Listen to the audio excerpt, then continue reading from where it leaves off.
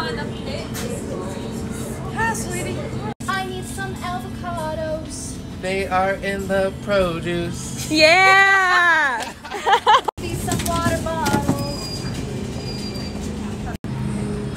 And I'm gonna need